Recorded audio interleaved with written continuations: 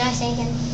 Talk about the planting. Why are the Why colors? you say, this is my example This is of my example of the big fly trap. If you want to come up close, there's a fly right here between the there's fly trap. It's blue. together. And also there's a little bit of drop, fake drops of that actually made of hot That's okay. Sorry, Babies you can cry. continue. Little ones cry, Just like big ones cry.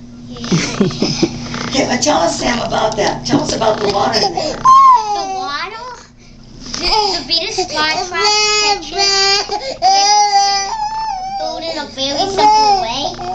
It only can three, eat three bugs in its whole lifespan, then it dies. It does, as if some people thought they use poison to kill their food, that doesn't actually happen. They use water to kill it. They have little trigger hairs to help them catch food since they don't have eyes. So this is how they catch the food. If, the insect crawls in, then if it touches the trigger hair, one trigger hair twice or, or oh, two trigger hairs, then that's the only way it will close.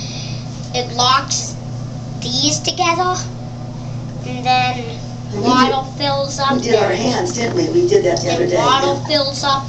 Then the insect drowns. They and then they suck up the mush and they and they drop the whole and the, the exoskeleton out. Tell them again, Sam, what exoskeleton means, Casey, I don't remember. An exoskeleton is a soft skeleton that's on the outside since they have their their soft stuff on the inside to, to protect their body. Good, Sam. Even cat, even some slugs maybe would have it with smooth skin over it only. Okay, now, Skin. uh, are you finished, Sam? Are you going to tell them some more? These are flies flying above. My this was the only way my mom could make them. Mom was gonna make them just sticking out of the ground without the little hooks attaching to them, but they fell out, so I reminded her.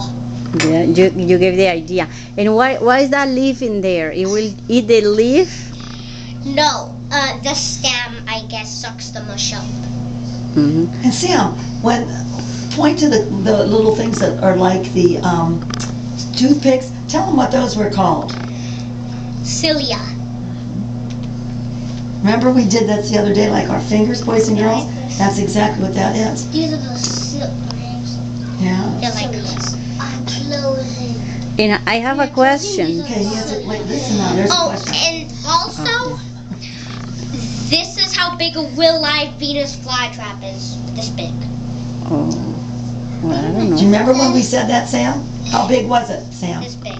But how many inches was it, or, or uh, centimeters, do you remember? Um, 18? Is that what we said? Yeah. Do you want to, do you want to go get that yardstick over there, Sam?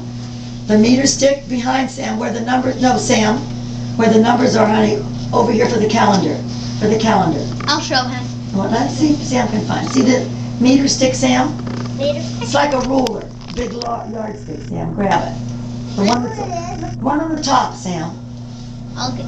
Should I go get Sam, do you see those wooden things that look like rulers? Oh, yeah. Okay, bring it over, and on the back, that's it, Sam, that's the meter stick. Show them, set it on the table, the wall- that's it. Show them where the, in- the centimeters are. It takes two and a half centimeters to Wait, make actually, one they're inch. this. They're. I remember 43 centimeters.